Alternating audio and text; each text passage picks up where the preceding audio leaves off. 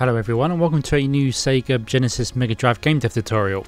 In the previous lesson we learned how to make a map using 16 tile and in this lesson we're going to explore one of the neat features of using 16 tile and that is being able to use multiple palettes within a single background layer. Just to give everyone a quick recap on the Mega Drive's palette, the system allows us to display four palettes at the same time. It has PAL 0, PAL 1, PAL 2 and PAL 3. Now PAL 0 has 16 colours and the other three palettes have 15 colours each, giving a total of 61 colours. You're only allowed to assign one palette per sprite or per background tile. As you may recall from previous lessons, in regular SGDK, we normally assign a single palette to a whole background layer. But one of the advantages of using 16 tile is that we can assign palettes on a tile by tile basis. So in theory, a single background layer could use all four palettes with each tile using one of the four palettes. In order to demonstrate this technique to you, I'm going to use the background for the Village in Beyond Oasis. If we examine the village background, we can see that there are a total of 29 colours.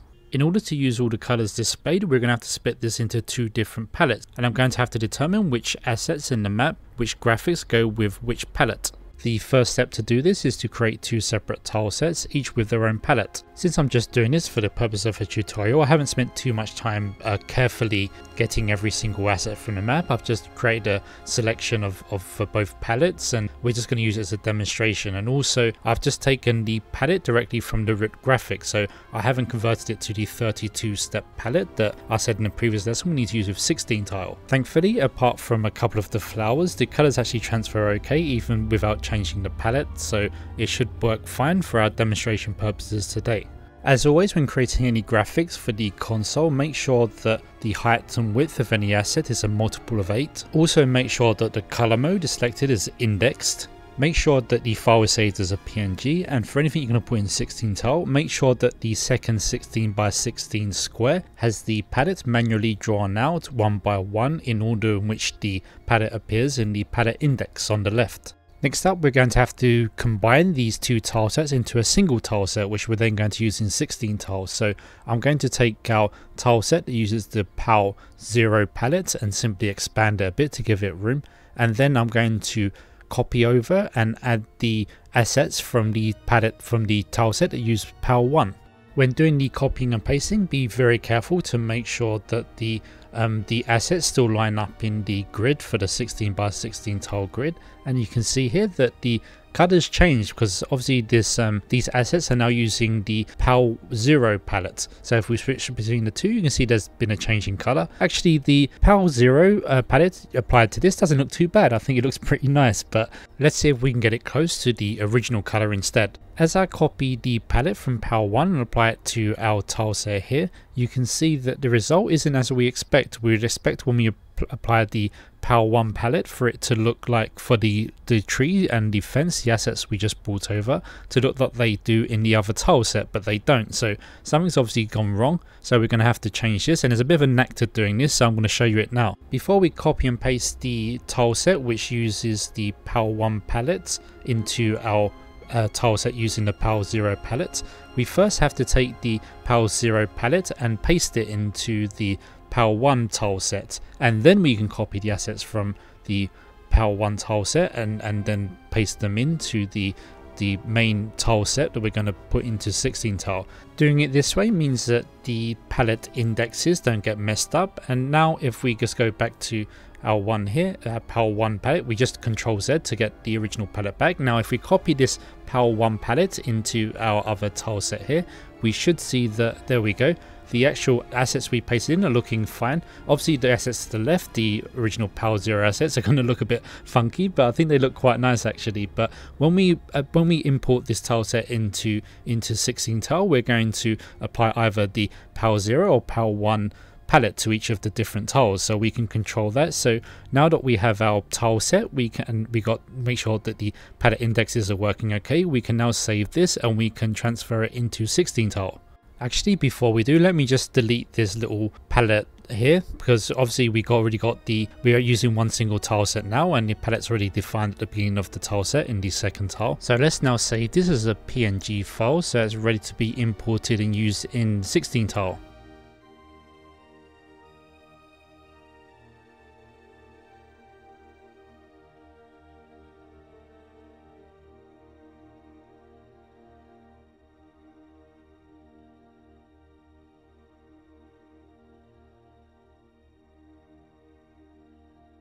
One final thing we need to do is to save the palette for PAL 1. So we're just going to do save palette here, call this whatever you want and make sure the file type is put as a PAL file.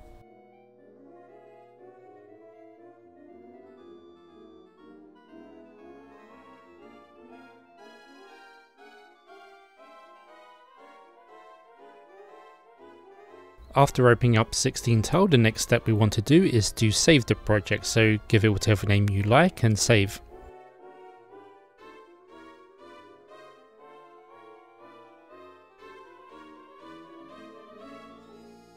Now we have to tell 16 tile which tile set we want to use, so go over to tile set and add the plus button and then click the down arrow to do the download and simply select the tile set we just created.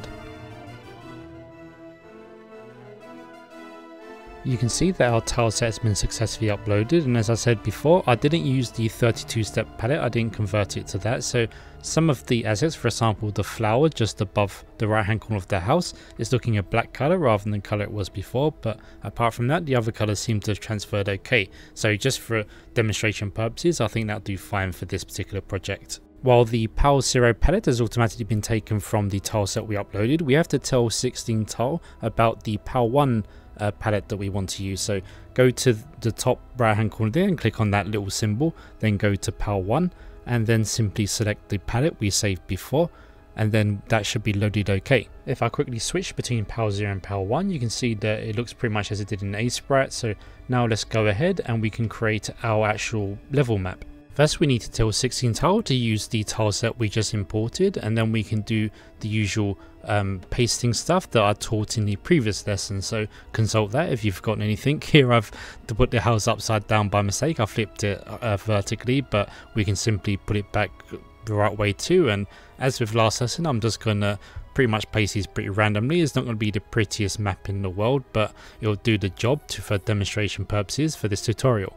Whenever you're dealing with original assets of games like this, um, you notice some things that maybe you didn't quite focus on before, and you can see that compared to Zelda Link to the Past and also to Crusader of Centy, the way they've done the design the tiles here is actually more organically. So it's not, it doesn't look initially like it fits the uh, square, a tile bar tile um, pattern, but obviously it does in order to fit into VRAM. But you can see that I've not done the best job of selecting the correct assets, so they don't quite line up properly when I put them next to each other. So you'd have to be a bit more careful if you're going to do this. You want to do this properly. But as I said, for this uh, for the purposes of this tutorial, I think it'll be fine, and it doesn't look the best, but it doesn't look too bad.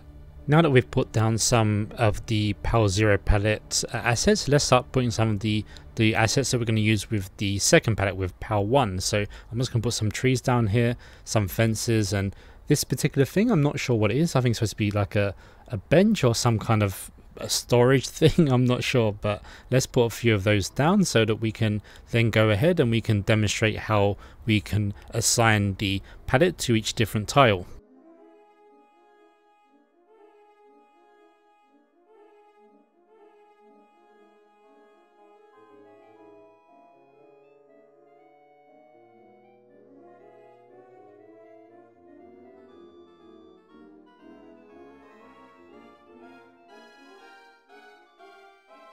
I think that will do for the map design. So now let's look at the palette. So on the left hand side, you can see you have this 0, 1, 2 and 3. Now each of these apply to the different palettes. Now 0 is already applied automatically to everything, so we don't need to apply that. We just need to make the application if we want to use 1, 2 or 3. Now we simply select 1 in this case and we can just left click and we can just paste the PAL 1 wherever we want it. So obviously we're going to use it for these trees and for these fences. So we can simply hold the left mouse button and then then paste the one uh, the PAL 1 over whichever whichever tile is going to use the, the second palette is going to use PAL 1. It's worth noting here that I've been careful with how I've chosen the first color in the PAL 0 palette. So I've made the first color the, the green of the grass and so even obviously the first color of the of the PAL 1 is also the, that green of the grass, but because it's PAL 1, that's going to be transparent. So it's going to show through the PAL 0 is going to show through that, and it's going to be the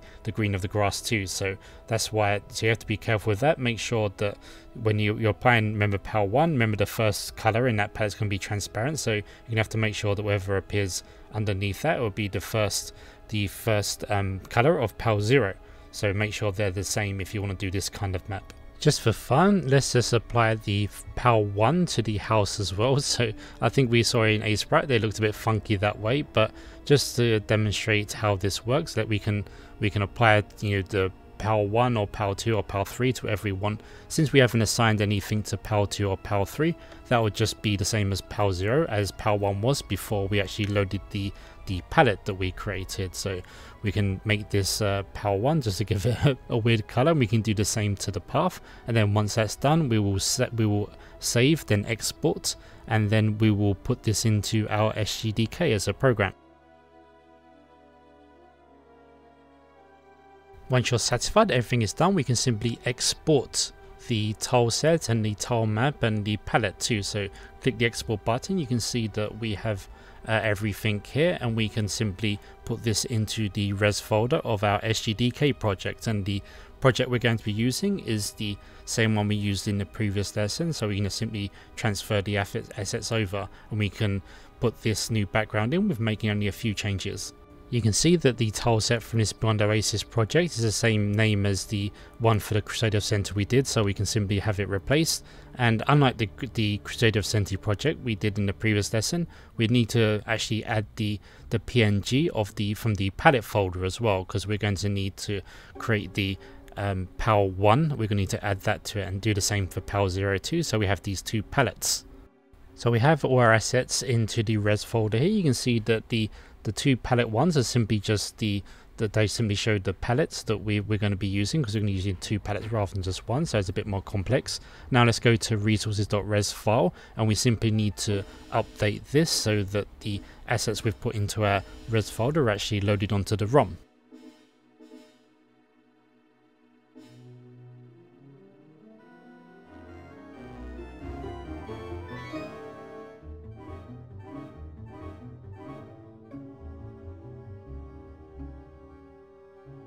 we're going to copy and paste the palette code here and we're going to make sure we have the uh, both palettes represented but loaded onto the ROM. So again we're going to make a few changes here do a bit of renaming so that both PAL 1 and PAL 0 are on this ROM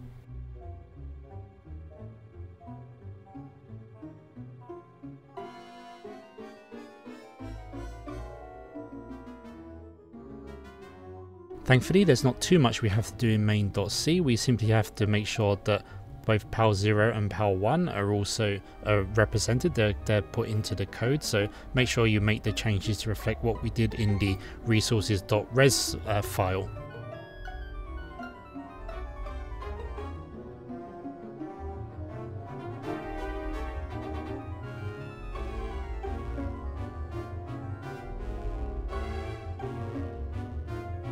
And once that has been done, all we need to do next is simply to change the variables which determine the map size, because the size of the map is in this time is different to what we did last time.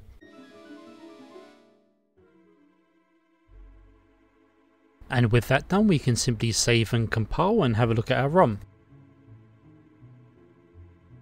As the link moves around the map, I think we can see everything's looking as we expected. So that tree there, we obviously forgot to put as PAL 1, so it's using the PAL 0 tile set. The house at the very beginning was using the PAL 1 tile set, so it looks a bit funky. These two trees here, and the fence is using PAL 1, that's used the house using PAL 0. So everything's looking as we expected it to look. And uh, normally in, actually this bit here, I think uh, where Link is right now. That looks like we got a little strip. Maybe we forgot to change the palette on that one. Let's go back to 16 tile and take a look if that's the case. So if we just zoom in here, ah, we can see that I forgot to do this as PAL 1. So that's why that those particular tiles are using the PAL 0 tile set. In my experience programming the Castlevania Symphony of the Night Mega Drive game, what normally happens is that we use PAL 0 for the far background and then for the foreground we use a combination of PAL 0 and PAL 1 and then for PAL 2 we use for example the player character, Alucard, plus a few sub weapons and so on and maybe one or two enemies too if they can use the same palette and PAL 3 is reserved for enemies. Using the four palettes we have available to us in an intelligent and efficient way is essential to creating a good looking Mega Drive game. However you decide to arrange the palettes is up to you, and I think 16 tiles is a very good tool to achieving the best result. I will include a download link for the tileset I used in today's lesson in the video description below, as well as a link sprite, so if you want you can try and recreate your own uh, Legend of Oasis map. For the artistic among you, I'll, I'll, encourage you just to use the 32 step palette and create your own backgrounds. And if you do make anything that you think is quite impressive, then I look forward to seeing it. Feel free to email it to me and maybe I'll feature it in a future video. Okay, so I think that just about wraps things up for this video. Thank you so much for watching. If you're interested in this kind of content, then please subscribe to the channel. I'm interested in this. And if you want to support the channel further, I have a Patreon account. You won't go unrewarded. And until next time, farewell.